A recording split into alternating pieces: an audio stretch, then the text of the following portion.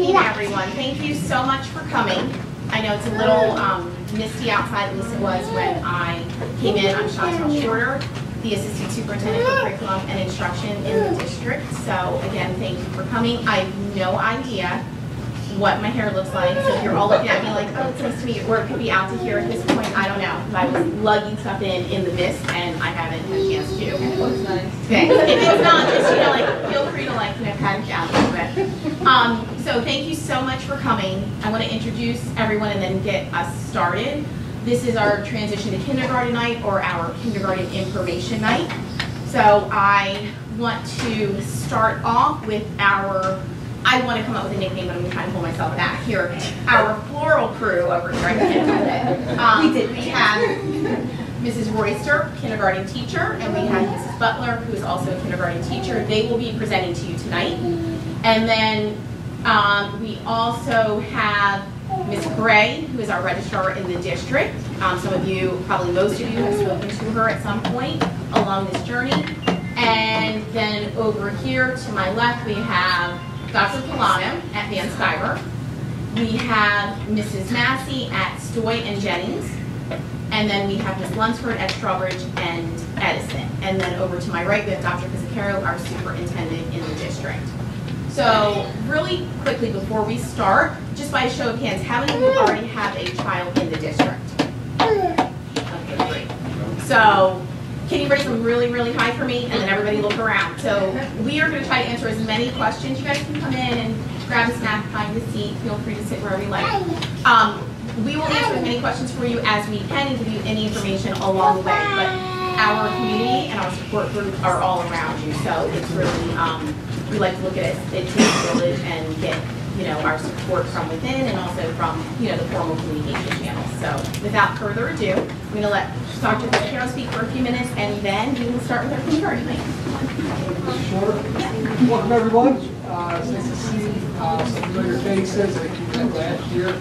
Some of us uh, joined the pre-K. uh, It's nice to see you once again. Let me ask the question the other way. How many do not have children in the district right now? Okay, so we have a hat. Great. Well, welcome to Haddon Township. Uh, My name is Bob Fisicaro. This is my fourth year here as superintendent. Uh, We take a lot of pride in our school district. We have uh, all the adults that work every day with our kids are extremely motivated, um, very skilled, could not ask for a better staff. Uh, We are in the process of upgrading most of our facilities. Uh, You may have heard uh, some information about a $30 million bond referendum that recently passed. So we're very excited to upgrade our infrastructure. I think when you have uh, a really good workforce, dedicated teachers, skilled administrators, experienced folks that really care, that love kids, um, that show up for work as much as as much as we can. Um, The last thing that we can do, the most responsible thing that we can do is upgrade uh, the environment in which students learn. So that's something that we're certainly committed uh, to doing. We are currently in a a bit of a difficult spot financially. Many of you may be aware um, that we're due to lose a significant amount of state funding um, from Trenton. You know, public school budgets are made up of a combination of taxes raised through the local tax levy and state aid that is provided from Trenton. Unfortunately, this year, we are taking a step backwards in the amount of state aid. We were originally slated to lose about eight hundred thousand dollars in state aid. That number is gonna fall a little bit north of about four hundred and thirty, thirty-eight thousand dollars. So, uh, the good news is that we have, we're managing to keep our commitment to a full-day instructional kindergarten program.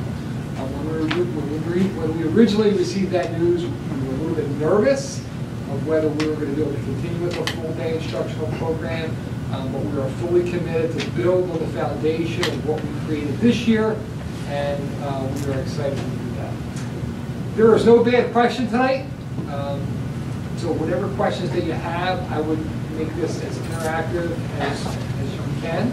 Um, You're going to hear two great teachers in a short time, but feel free to ask any questions that you may have. The most common question is, where will my child go to school? If you're not already familiar with our dotted line, solid line, school assignment map, um, please contact Ms. Gray. She'll send it to you. Is it on our website? Yes.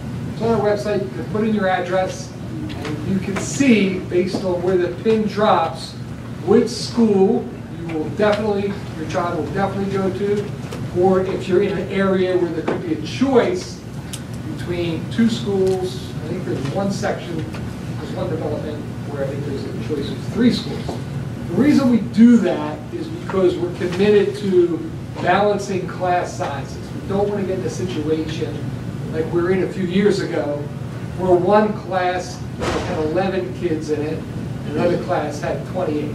Right? It's just not fair. We want to provide equitable services, and equity starts with trying to manage class size in a similar fashion across the district. So, um, there's no more important thing than early childhood education. It was a district goal this year. It was a district goal the year before. We expanded our pre-K program, which we benefit from. Benefit, the children will benefit from our ex- uh, expanded full-day instructional program uh. So welcome to Haddon Township. If you have any questions, I'll be here for the duration of the night, but feel free to ask anyone. I turn it over to Lisa Navy. Thank you. Uh, Good evening. Hi, welcome to Haddon Township Kindergarten. My name is Sinead Royster. I've been lucky enough to work in early childhood education for the past 22 years, uh, and 18 of those years have been here in Haddon Township. Uh, The last two years, Amy and I have been working together uh, teaching inclusion. Uh, I'm Amy Butler. I actually live in town. We moved here so I could send my kids here because I love the district so much. I taught, this is my 14th year teaching, 10th year in district. I taught preschool when we were half day, half day. I taught half day kindergarten, half day preschool, so I know where your kids are coming from and I'm excited to have them now in kindergarten. Uh, Sinead said we teach inclusion, that means it's a classroom that has students with IEPs or uh, special education, and we're lucky enough to co-teach. Um, welcome to kindergarten. We thought this picture was so cute because it shows such a happy face. Uh, we're going to give you a sneak peek into a day of kindergarten. We're going to hope these videos work. We thought no better way to tell you guys what kindergarten is without hearing it from us.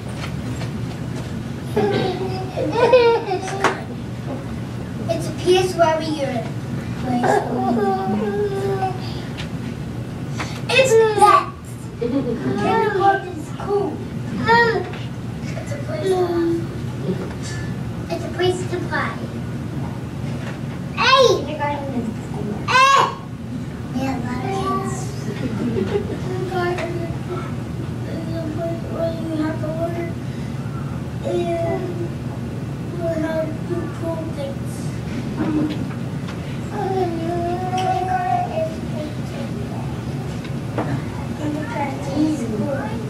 What's yours? You like Jim? Kindergarten is a great. Kindergarten is the best. All right, so in, from their mouths. Mouth out. Hold on.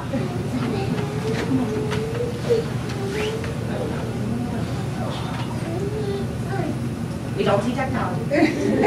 All right, what will they learn? Kindergartners are going to learn a lot of things. It's a huge year of growth. It's academics, of course. We're going to do literacy, we'll do the math, we'll do the science, we'll do the social studies, but it's so much more. They grow socially, they grow emotionally.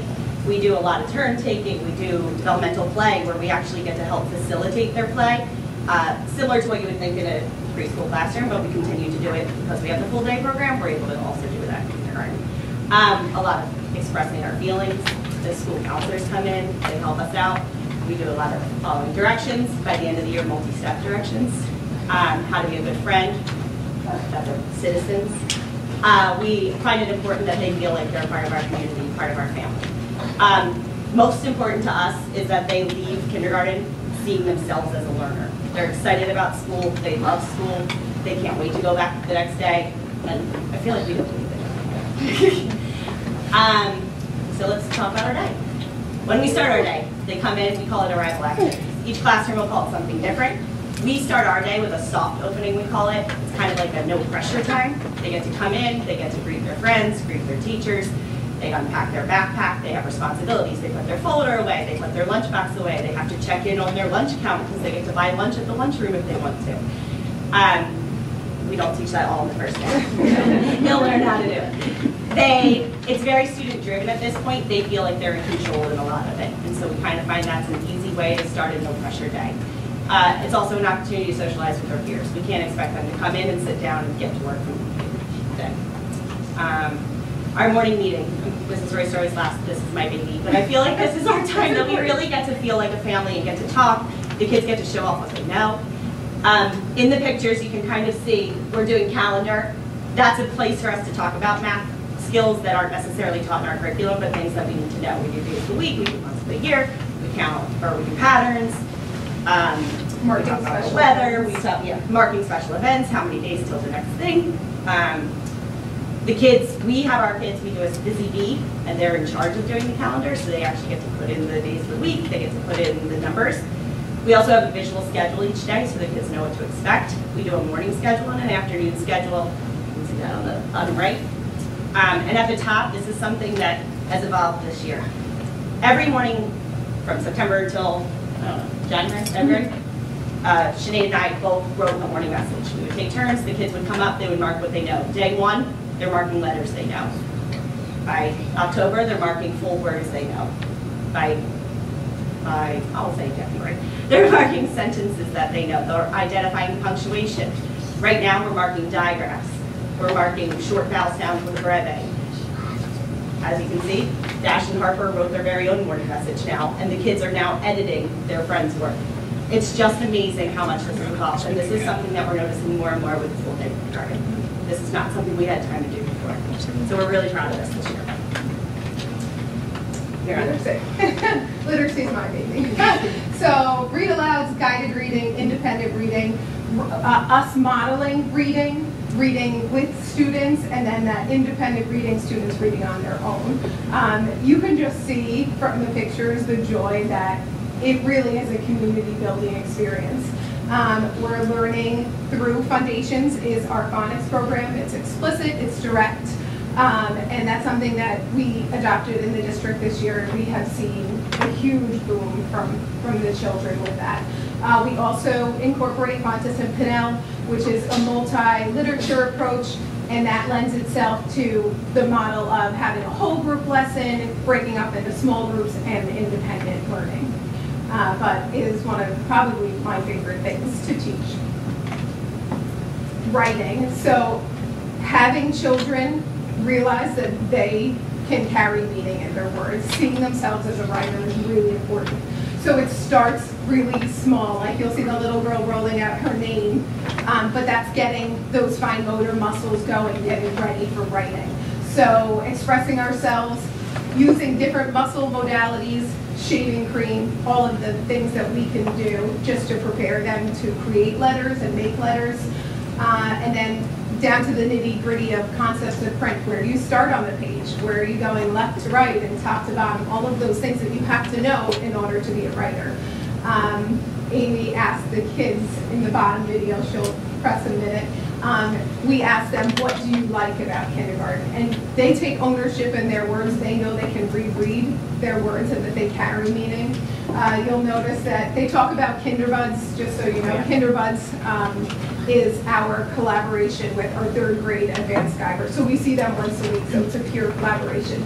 Uh, the other thing you'll notice is they all like snack. Yes. Before I play the video, I did want to comment on the little boy at the top right there. You can't tell what he wrote in that picture, but he actually took the time to take each one of our schedule cards and he wrote exactly what is on the schedule and he wrote the actual words. But I want to note that this was during his playtime. He chose, this is what he chose to do. And if you knew this boy, it would blow your mind. So we were so proud of him. It was just a really cool moment. All right, now I'll show you this one. I I like snack time. I like snack time.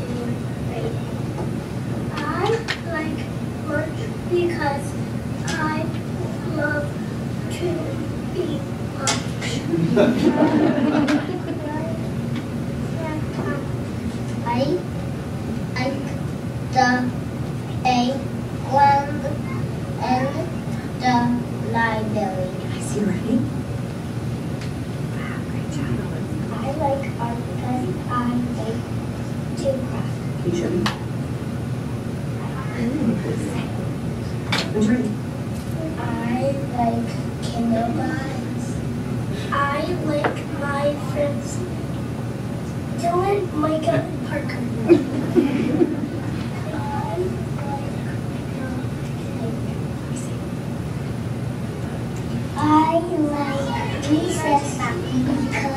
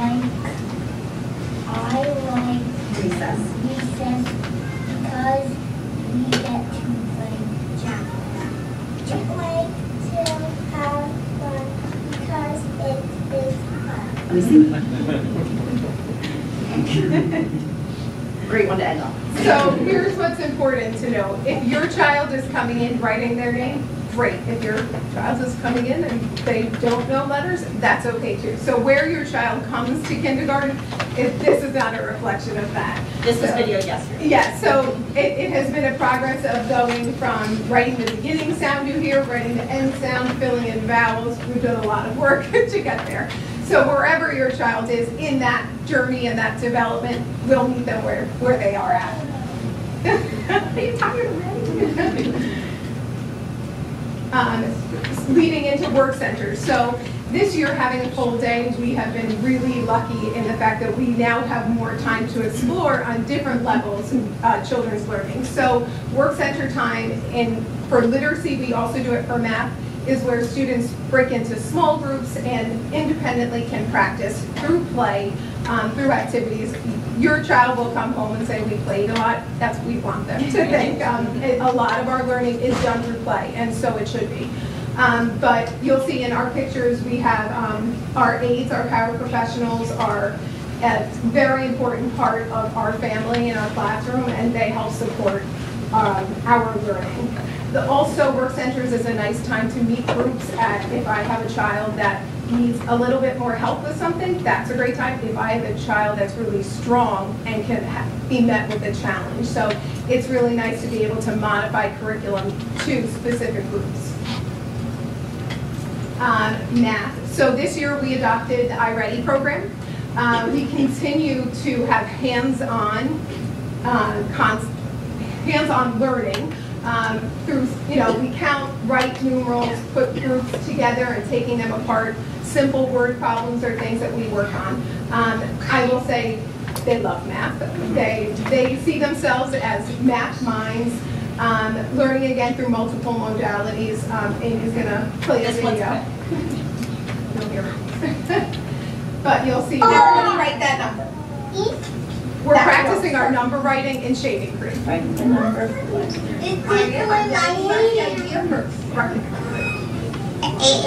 It's just going my. Also learning tactile things. Put your hands up like this. What number did everybody write? You see those numbers? What's your right? So we're making sure, are they writing their numbers forming correctly from the top? Are their numbers running the right direction, things like that? 13 versus 31, all of the ones and tens places, again, has been a, a journey and a process.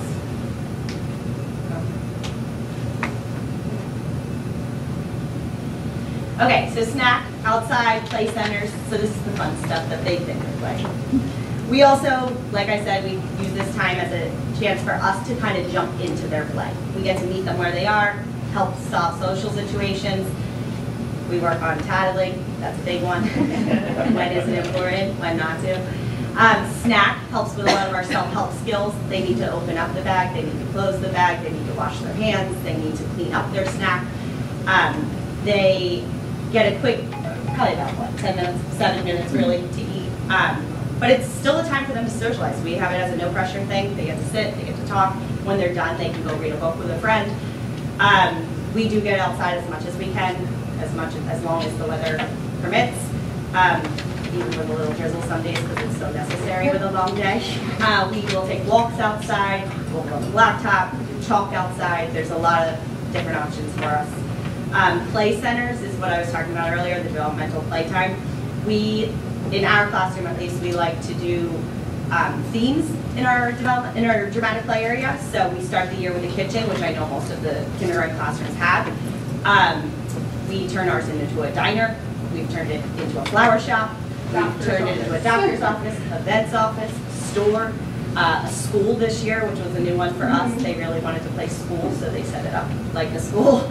Um, but we let them kind of take the lead. They tell us what we need in it. They help us make labels for it, and it's just a really fun time. They Sometimes they even get to vote what they would like it to be next, so it gives them the ownership. We were lucky enough to get a lot of materials this year. We got a lot of building blocks. We have a little, a lot of games they can play, puzzles to do. We kind of swap out and let them pick what they want. There's really a, it's really a choice time to, to have control of it. Um,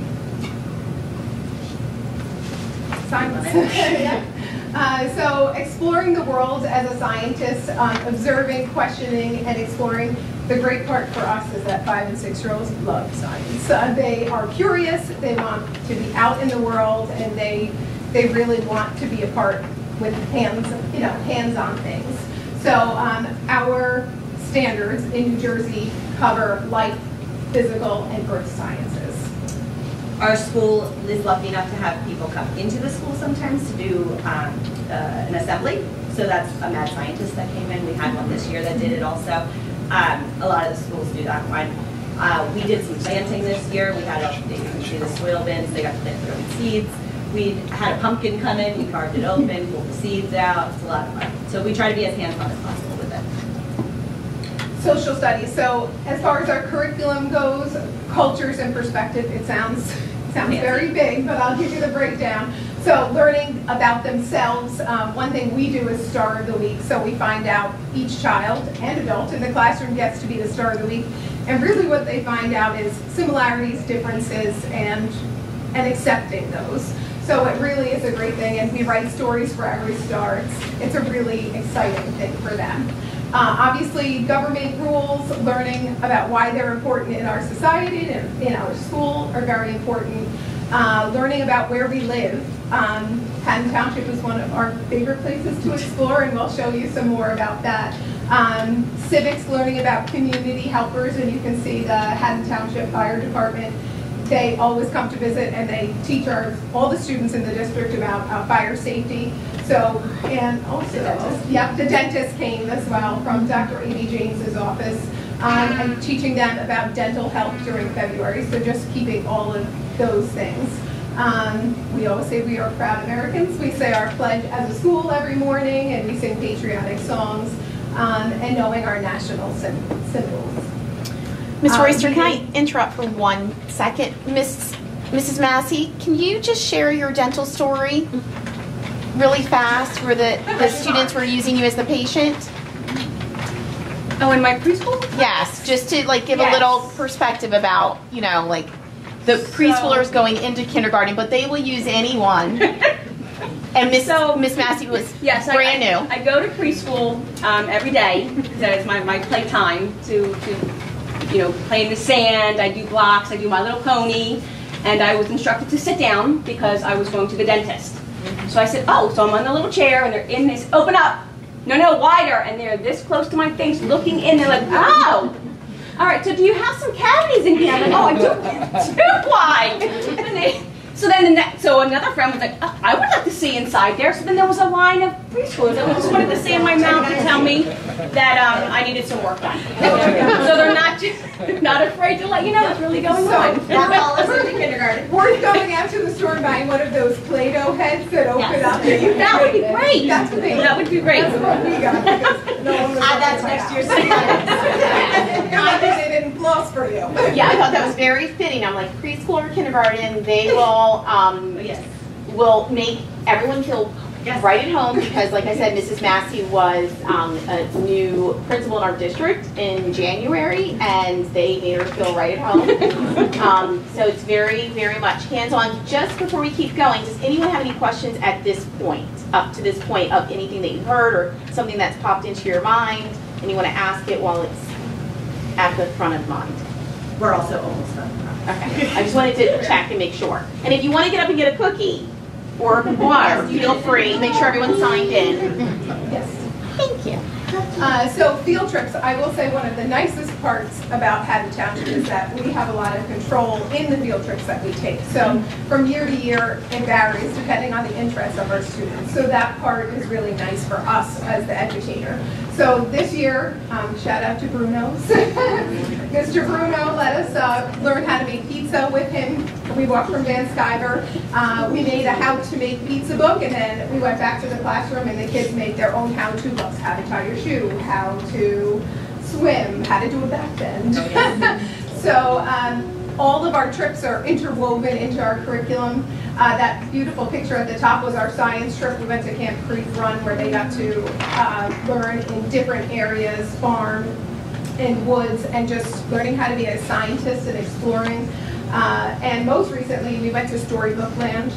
Uh, We did a unit on fairy tales, fractured fairy tales, and we'll be concluding that unit going to the library in another week or two with our kinderbuds, so everyone has a library card for summer. So we utilize what we have in the community as well as outside of the community, but all experiences that really help children grow on a whole. And it's fun to be back on field trips because there was a lot of years we did. Yes. So we're excited. This year was a full force field trip here. Um, the kids in kindergarten do get to have specials, which is nice. So they get to go to, um, phys ed or gym, as you heard in our video. Uh, they have health also. They get to go to learn Spanish. They have an art class and they have music class. Uh, each school does have a library, um, usually run by the PTI, and it's usually well done. Uh, so they get a chance to get out of the classroom, be with a different teacher, and explore different things in class, or in the school. Okay. We have two final videos. But this is a quote that Sinead and I definitely live by. Play gives children a chance to practice what they are learning. And it's by Mr. Rogers. We, you've seen a lot of our class today because that's who we have access to. Um, but they have a second kindergarten in Van Sciver, and so I went down to the second kindergarten class, and I wanted to learn what, hear what they learned also. So you'll get to hear from our class first, and then you're going to hear from the other kindergarten class uh, about what they learned in kindergarten. Maybe.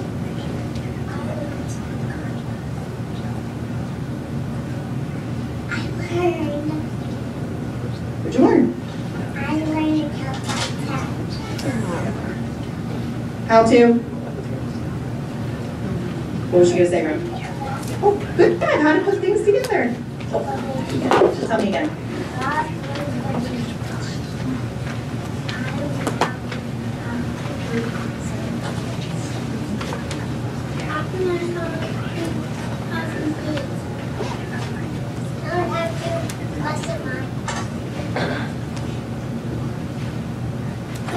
Did you learn this year? How to be a friend? We got you back. So our class was a little over. The other classes is excited. I learned about sounds. I learned about subtraction. Learned how to subtract. I learned my language. I learned about the. I learned how to words that I never had in school. My favorite thing to do at school is go to art class. I learned how to listen to people. How to listen to people. I learned about how to make a Batman and Kinder card. I know how to act. I learned about nonsense. I learned how to take away a. I, I learned about how to learn TikTok. recess? Yeah. Good job.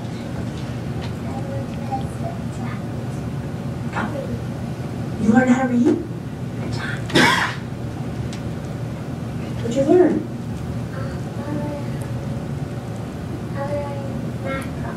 Go, go. I I have to add. One hundred times to ten. So they took ownership of what they learned. I think they think they learned a lot. uh, proud, and if it doesn't come across, we really love our jobs so much. And we just are so lucky to work with them each day. And I really feel like this full day kindergarten has shown us. I was so hesitant about it because I love my half day, my half day, but I am just amazed at the things that these kindergartners can do. So we're so excited to share them with you guys. So we're looking forward to uh, seeing your kindergartners in the fall. Oh, yeah, they- Um, Oh, it's one cute class. Learn that. Walking in. See you in kindergarten. And we'll turn it over to Dr. Bell. All right, just a few closing thoughts, then we'll open it up for questions. Um, Despite what you've seen about all the creative things that our students are doing, when they come ready to do in kindergarten, the one point that I would like to emphasize is you don't need to do anything to get your child ready. Okay? It's our job to be ready for your child. It's not your child's job to be ready for kindergarten. So rest in that, okay? Um, Next thing I want to talk about having two children in my home that are now 17 and 16.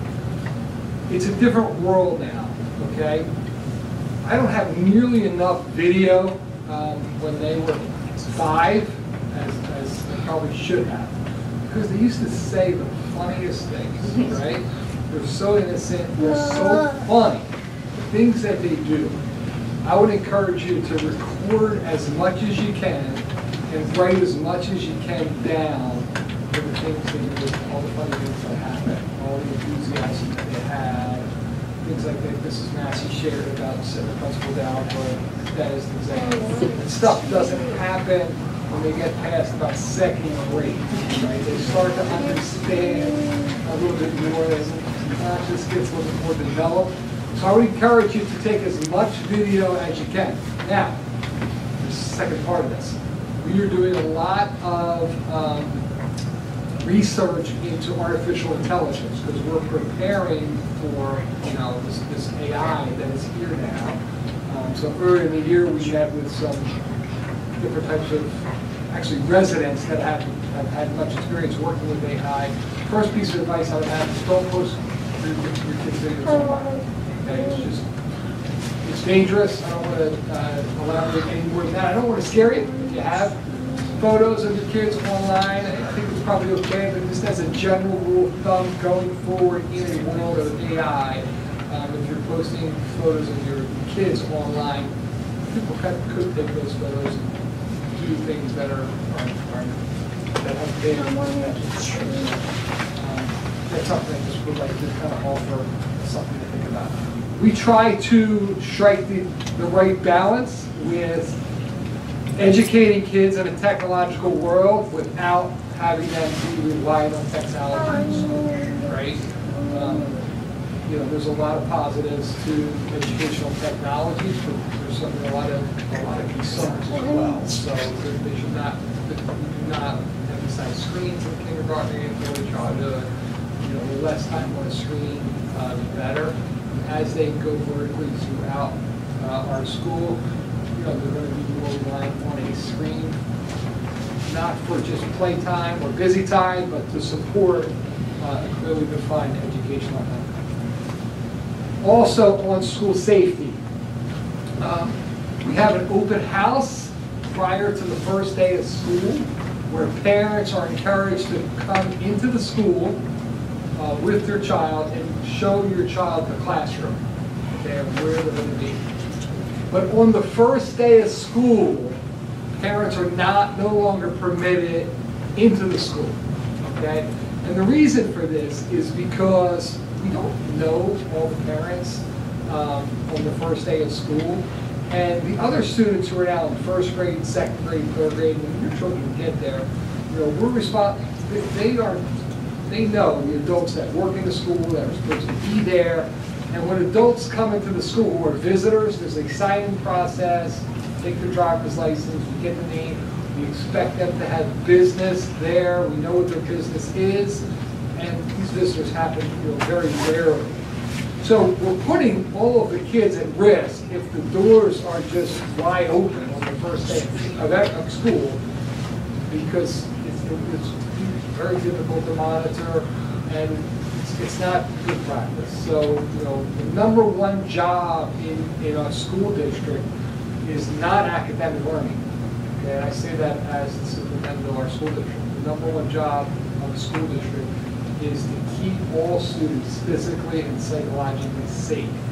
So detaching on that first day outside of the school may be difficult, make sure you prepare for that ahead of time, but we're going to be ready to support your child when you drop them off on the first day. Okay, does anybody have any questions for our teachers, myself, our administrators in the back, our registrar, or Mrs. Schuler? Anything at all? Is there any information you can provide on like before and after care and how that works? Sure. Um, We, still are going to, we plan on still having before care at all schools. Okay, this is something that, you know, we're try to stay committed to. It has not always been the case because, you know, we have only two students signed up at, at the school. You know, we may not be able to run a program at every single school. So a lot of the before care is um, contingent on enrollment, enough enrollment. Uh, The aftercare program is at every single school.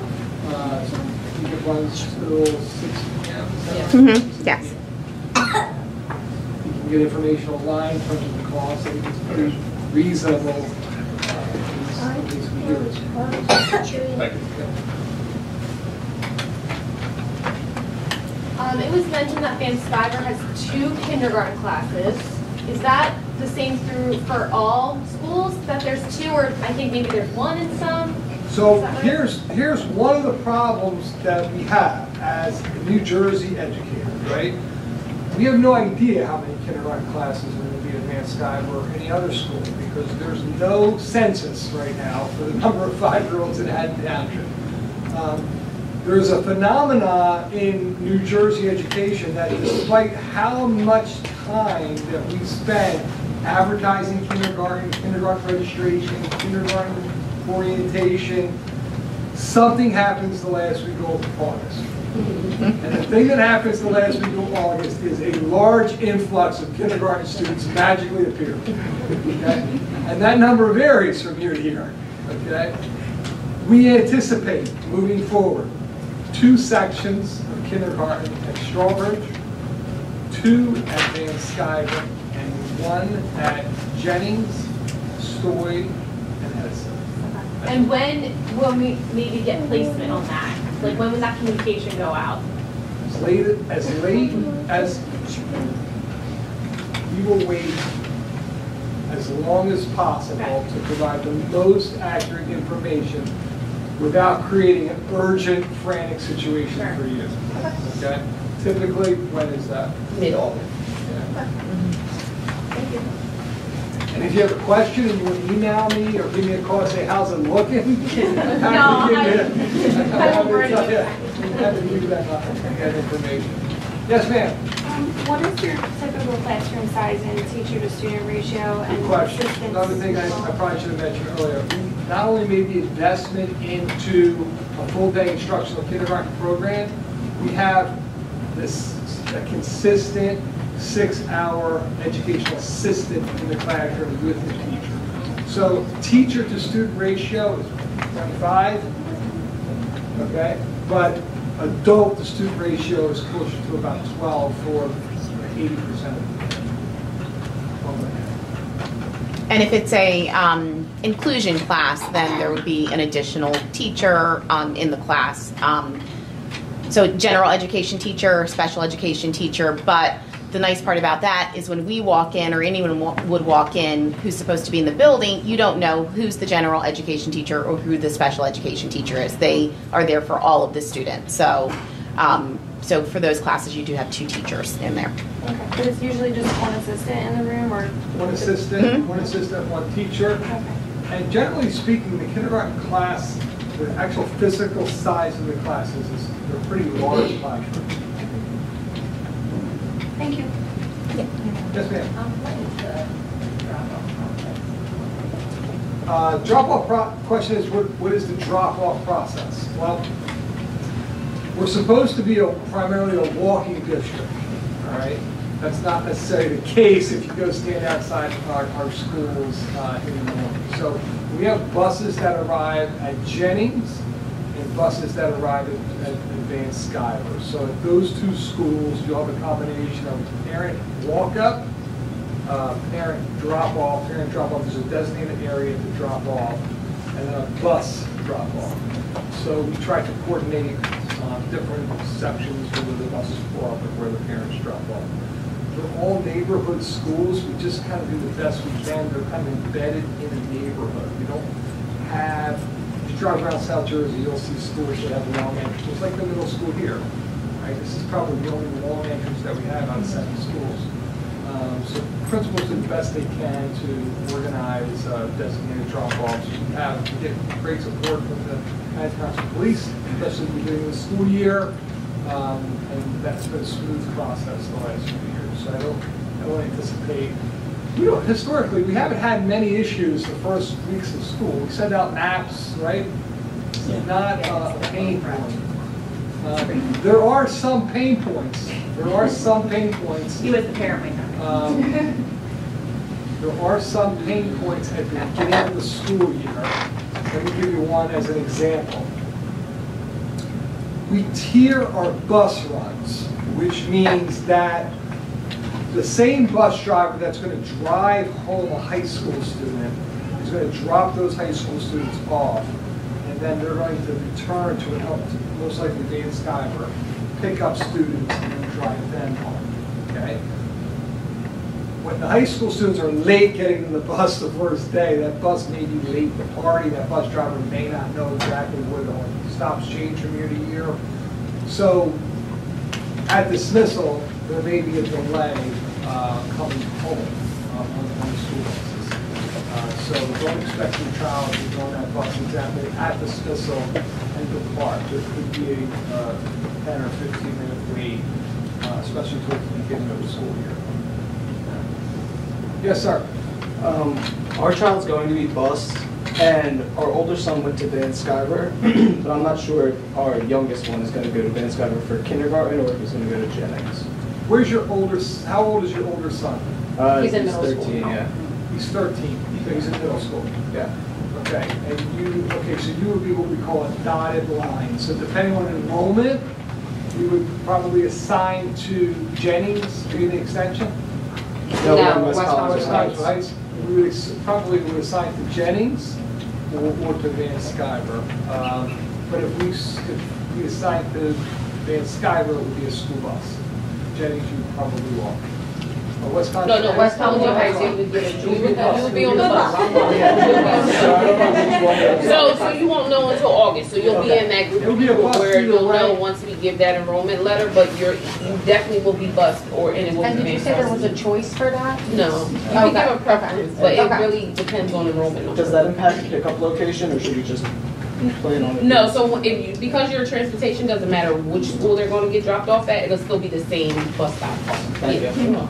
Sorry about that. No, that's okay. Yes, sir. Um, the special classes, art, music, language, how often are those? Are they like a weekly thing? Like they give them each Uh-huh. week? We have one a day. Oh, cool. Um, and then I had a second question of like, uh, just because my kids been in uh, a pre-K and a TK for a half day only, um, how in this year have you seen just like the stamina of the kids throughout the throughout the day, and how are they? de- How do you deal with that? How do they deal with that? One slept for the first week. She Yeah. took the nap in the afternoon on the winter bag in the back. Um, But, go ahead, you can. Yeah, we definitely meet each student where they're at, because some kids, they don't, you know, they're ready to go full full throttle. Right. Um, so it definitely depends on your class and each student, but I think that's always a concern. I will say first grade will feel, they'll reap the benefits they'll be from the excited full day, because it's usually the first grade teachers that are, are, but we also are very aware of re- reading the room and, um, you know, accommodating, especially in the beginning of the year, until we build up that stamina. I really think we try to put like our rigorous stuff in the morning as much as we can. That was gonna be my, my my next question. It's kind of spread out now because we've built that stamina, but Right. in the beginning, yes, and then we try to have a little bit of a lighter afternoon. I got you. We have a little girl that asks for a snack still in the afternoon. Have a cou- couple cheeses. We try to meet them where they are. Okay.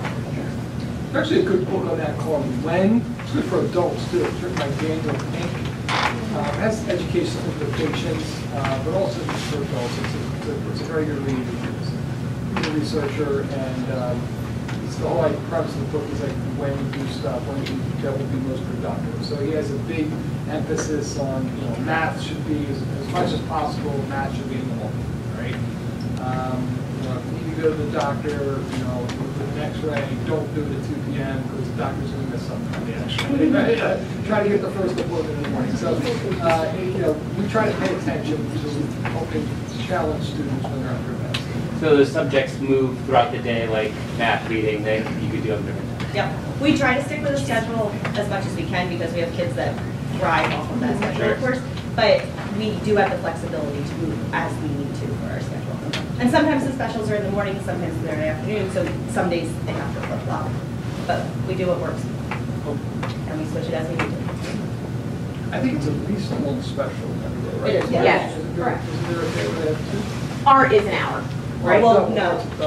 Right, one day. One day we have a double. One day is a Yep, double. that's true. So they at least have one special, and then one day they do them too. Got it. Yep. Yes, ma'am. I have two questions. Um, This is one question. One at a time. Are kindergartners mostly in one classroom throughout the day, or do they visit like library, Yeah, go to other That's the special. So we go to gym, we go to music, we go to the art class, we go to the library. Okay. Missing one. We go to Spanish, we go to the cafeteria, to So recess. traveling? Oh, yes. Okay, Right. got it. Um, and have you all found that kindergartners prefer to buy lunch or bring lunch from home, or? That is a personal personal preference, Okay. yeah. If you have a picky eater, I would say keep them comfortable at the beginning, and then maybe they'll branch out a little bit later when they're comfortable, but it really is a personal We needed it a rule in our class for the first like three or four weeks that everybody had to bring, so we knew how to get to the lunchroom, how to open at lunch, how to sit down and have lunch. Um, and then once they kind of got comfortable, we allowed them to get, to buy it. We asked parents to give us permission to say, yes, my child is allowed, because we had kids being like, yeah, I have money. And they. So I think it's just gonna be your own child's preference on what they. Uh, I will encourage you to go to the website. We have, a- Yeah. not, not brand new anymore, but a new this year, new food service provider. Name of the food service provider is Wixons, And it's a stronger emphasis on fresh local food, so it's more farm to table options. Um, I think we've improved the quality of food this year. We're, we're pretty satisfied with the, the school lunch program. Um, It is not taken off, though. Um, I think is that we're also satisfied with is they want to hear from parents and children in terms of what did you like, what did you not like. So if the year gets started, your child's buying lunch and those things that they really like are just like, I would, the, the- the cafeteria manager, named Sophie, she loves to hear from parents and they're working really hard to try to accommodate this. Hot dog day's ahead. It's a big day today. Yep. Yes, ma'am. Um, quick question about sleep for kindergartners. Is that gonna stay in place for next year? I know that last year, I have a kindergartner right now in Strawbridge, and they didn't start the year having staff. So I was just hoping that we were gonna carry that. Yeah, so that was Mrs. Lunsford's decision. She took that away Okay. just as Strawberries. No, I'm just kidding.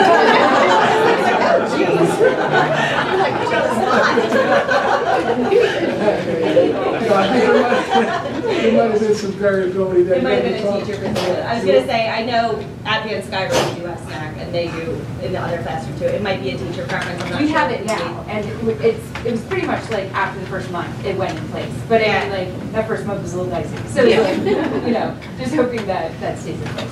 I mean, that can be something we talk about with the principals, kind of just like set it as across the board, but Right. that's a straight line. We, yeah, we can note that. Okay.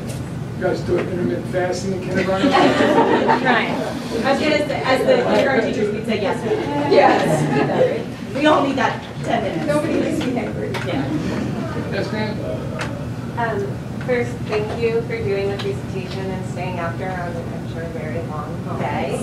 Um, it was wonderful. Um, I was curious about the uh, communication with parents, either like individual about your child, but also like as a classroom, this is what we're doing. So I call Amy our PR person because she always has a video up. Uh, we utilize Seesaw. Every teacher has their kind of platform. Um, you will get communication. How they do it will be up to the teacher, the classroom teacher. Uh, we do have conferences like the rest of the district around November. Um, but I think the teachers are always open. If you have a need, I would say, you know, never be afraid to reach out to a teacher. They'll, they'll always be happy to meet if you need to do that. And so there are emails, uh, we just had this conversation, actually, Ms. Lunsford and I were having this conversation just in general.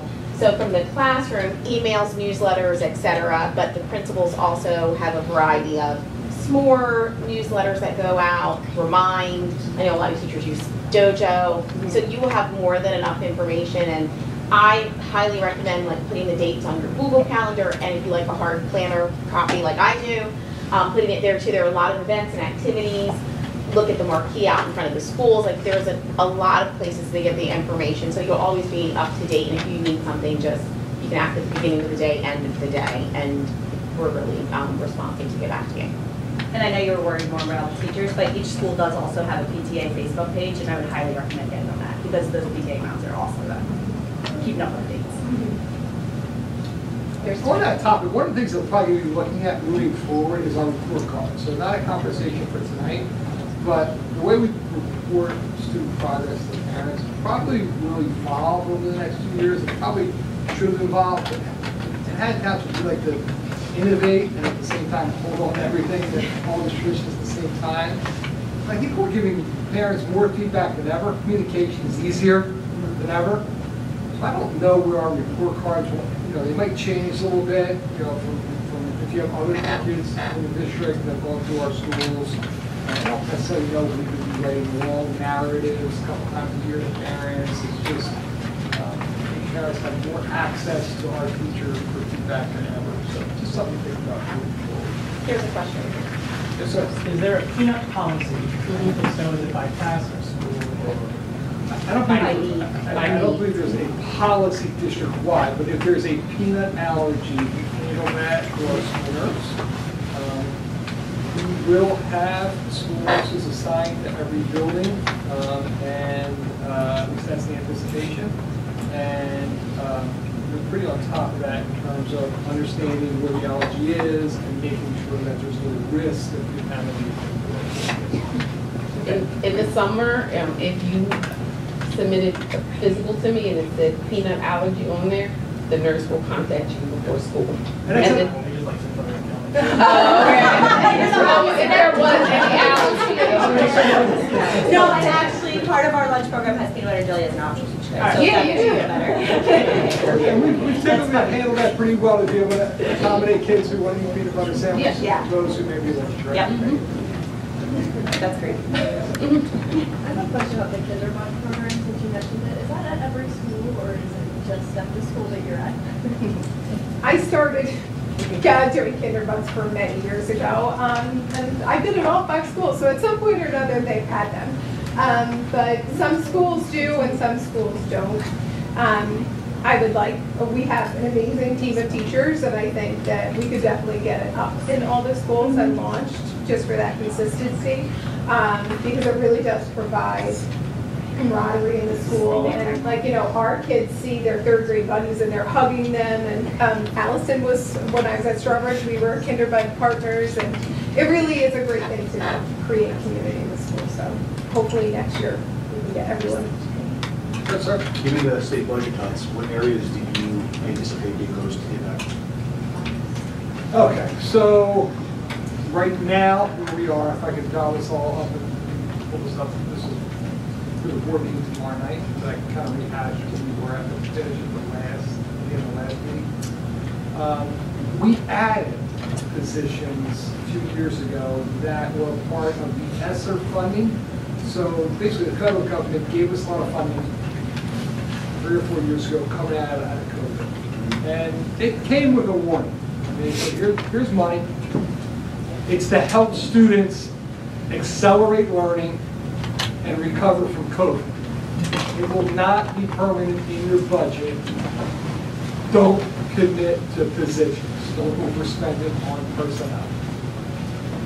So, but it's people that help your kids recover from COVID. It's people that help your kids, you know, accelerate. So we split. We, we took about half of it, put it in our facilities, and we took the other half of it, we, staff. Okay? The staff that we hired as part of those ESSER monies does not look like, most of them, does not look like that they will be able to continue now four years later. Um, So the cuts that I am right now anticipating is going from full-time gifted talented teacher to some other way to deliver gifted and talented services for students who have been identified as gifted and talented. We added a supplementary reading teacher uh, elementary level that I don't believe that we'll be able to continue with that position. That may need to, that may be able to go back to like a teaching assistant. Um, We had a full-time, we have, this year we had three full-time guidance counselors at the elementary level. The third one most likely will be, now be split between elementary and middle school, one elementary and one middle school, so we have to hedge there share resources. Um, And I think uh, our kids had library media services delivered by a media specialist at the elementary level the last few years. And um, that position, I don't think is going to be in the budget for next year, but we certainly anticipate that we're going to bring that back. Um, We'll put a $3 million library in a few years, certainly we'll need a media specialist district-wide, so that one is also. So those are the four, I think, at the elementary level. Just one, Chantel? No, I don't think so. Okay. So the, the gifted classes will exist, those will be pared down or a different form. Gifted services, Gifted yeah, services. by, by state law, we provide gifted services, we have to identify students who we identify, I think, who are gifted. Uh, We don't have to deliver services, and we just don't want how those services are going to be delivered right now. And does that start in kindergarten or later? When we start to identify in kindergarten, but there's no automobile, or full out program. Yeah. comes into our. Yeah, so that's a push in, and um, so how that looks next year, we're gonna have to be creative and innovative with how the services are um, offered, but the services will be offered. And um, there's, so it's a push in in kindergarten, there's um, mass testing in second grade to cast the widest net, and those services go through elementary school and middle school on an individualized um, basis based on what the students' interests are and um, the parents and their input, and that's how the services are offered right now. But it's elementary and middle school, and then once they get to high school, they get to tech- take their AP courses and things like that, so that's how it's offered. Thank you. On our, on our district website, if you know how many kids in the district, go to the website, there's a button at the top that says sign up for district news. Just put your name and your email into that, you'll start receiving district updates immediately. And I think I'll send out an update this Friday on kind of where the budget is for next year as of now. One more shoe has to drop from Trenton. We received extraordinary aid uh, in July. It's a figure that we still don't have. It's reimbursement for special education costs. I'm going to also escalate in recent years and not a little bit of a deficit. Um, Just like, you know, when we go to the supermarket now, everything for the register, I'm like, what? That's, that's the total? Like, everything just seems like it's higher. All the services that, that we're providing out for out of district, the cost of fuel for our buses, the cost of repairs, the cost of materials, everything is, is, is just escalating at such a rapid rate. Um, It's not just the state aid that has affected us. Uh, We're deficits right now that we're trying to overcome. Yes, sir. On the elementary level, when there is a weather-related closure, is it a closure or is there a virtual learning day? Virtual learning days um, are not permitted by the law because of snow. So when it snows and we cannot safely get the students to school and and the staff.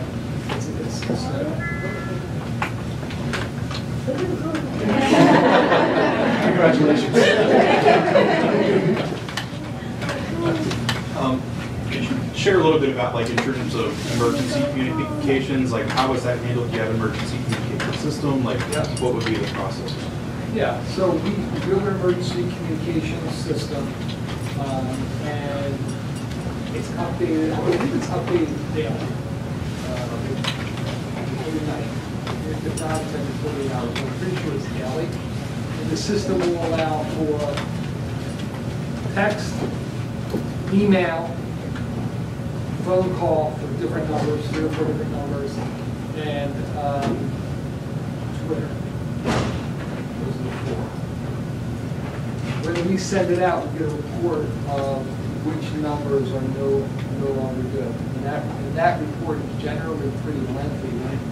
Gets a number of teleservice, it just automatically goes uh, to the next number. So I think it's important to kind of make sure that the information is updated. Okay, but it's like a system that's in place in terms of if there is something. Yes. Yes. Great. Um, and sorry, just the second question I have is just around inclusion classrooms. I know that was mentioned at the beginning. I'm just kind of curious of, is that if your student does have an IEP, is it dependent on, like, how does that process work in terms So, of?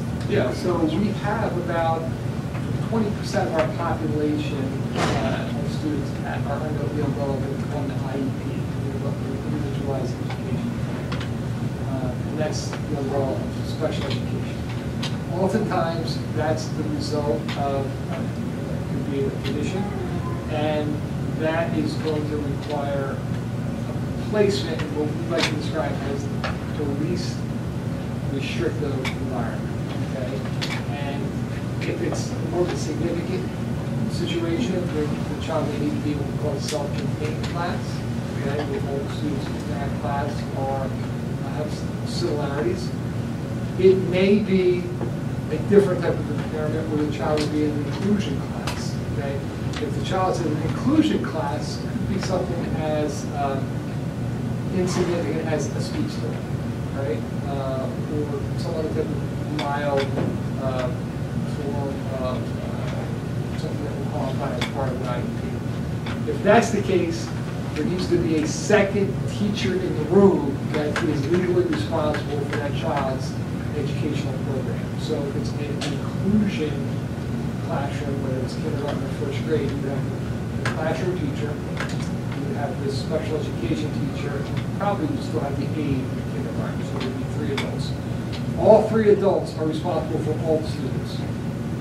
It's a team, and there should not be a situation where the general education teacher is teaching the students that don't have the IEP, and the special education teacher is teaching the students that have the IEP. They're both responsible for all. The aide is not only assisting the students, aide is assisting both teachers, and serves at the discretion um, of the teacher. Great, thank you.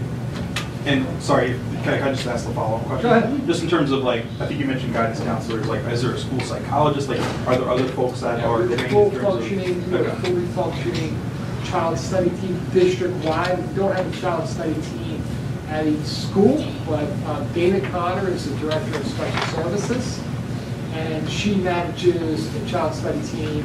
On the team is a district social worker, speech therapist, school psychologist, uh, LDTC, uh, actually the school counselors are considered part of that team as well. So,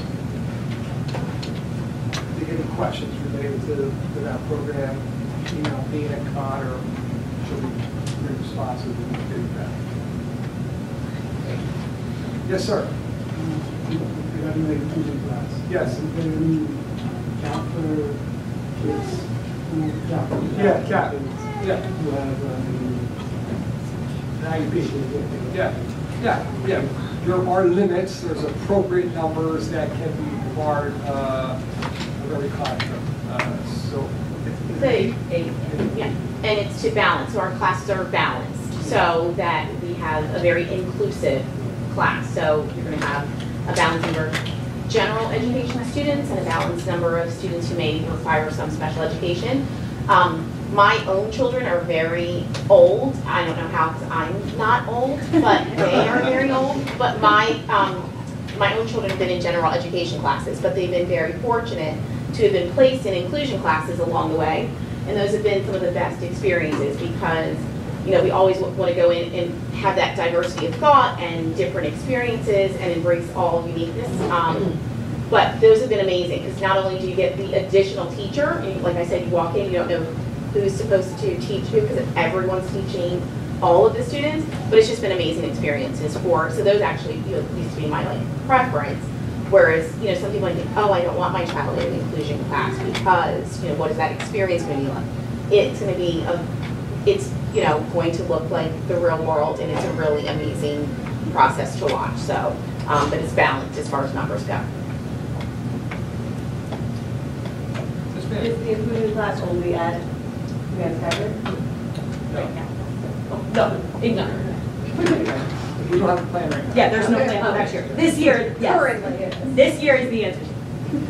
Well, This year, is still- this year is advanced. But we have no plan. That's great.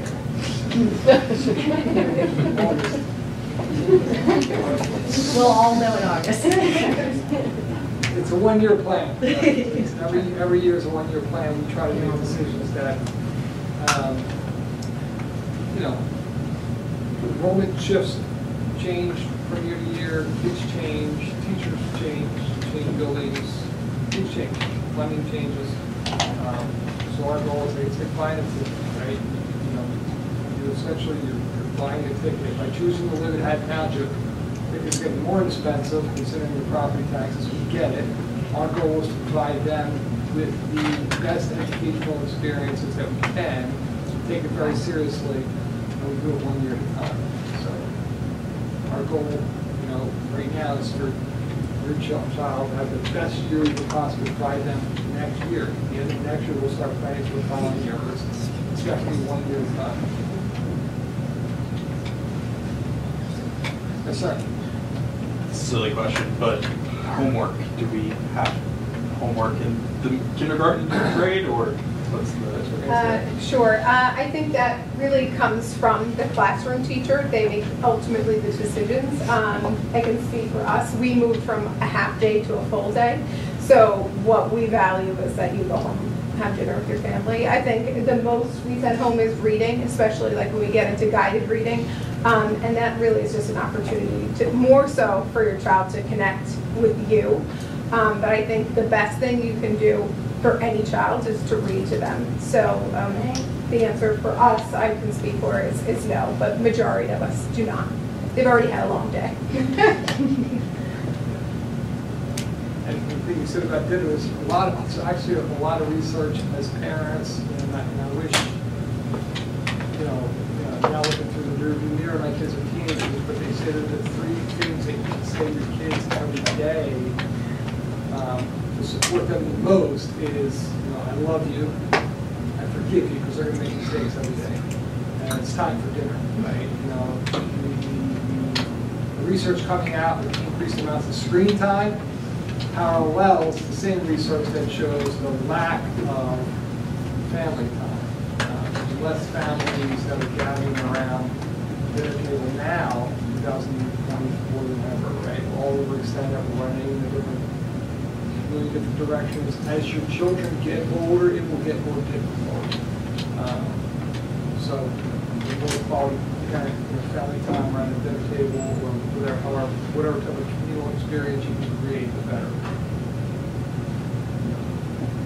In in our, in our vision on the wall behind this gray, it it says, uh, you know, our goal is that all students will have a sense of belonging and a sense of significance. Uh, But the school is just an extension of your home. You know, that sense of belonging and sense of significance, you know, should start in your home. Okay? Where your partner will be.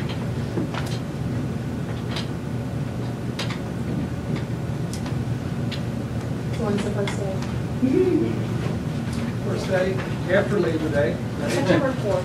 Uh, let's get to summer first. Yeah, I have a little delay in there. I think, hold on. I'm thinking of teacher day. I'm- It's two days after Labor Day, Yeah. but the school calendar's on the website. all three years of the school calendar, this year and the next two years are on, um, are available. I think they're posted or should be live. This year, for the first time before school started, the kindergartens across the district had an open house. Yes. And I would say that is a really important day for your kids and for you, for them to make a connection to us on that first day so they can release you and to know the environment and to know like, this is a safe person, mom, dad, my grown-up grandparent has met them. So make an effort to go to that because that's really important. Yeah, And I will send out the information about that and, um, the times and what time slot is available. It's a fun day. It's usually the day before or the two days before. Yeah. Sorry. I had to. Way back when we were doing this. Of course. Yes, yeah. You'll know who your teacher is. Yeah. And what your class list is. And it gives you the opportunity to drop off any supplies, so they're not kind of let in with, you know, their, their recyclable bag and all these things, like they just walk in that day and they're gonna be fine. Somebody will meet them and they will be escorted to their class and parents, if it's your first time, you will, you know, maybe have a moment of like, oh my gosh. Um, it's a sad but joyous day and just enjoy it, it goes by really fast. I will say one thing that I've learned, this is only my second year in the district, um, the neighborhood schools and the spirit and the pride that comes with those neighborhood schools is very deep in Haddon Township. So when I see the high schoolers running out to field day and they're like competing, like Stoy's better than Jenny, and it is, like, they celebrate their elementary schools something like I've never seen. Like you think it would be like middle school, high school, like their elementary school years stay with them. So enjoy it, it goes by fast, and just cherish all the time that you have. Thank you so much for coming. All right, we'll stay. If any questions afterwards, we'll hang around.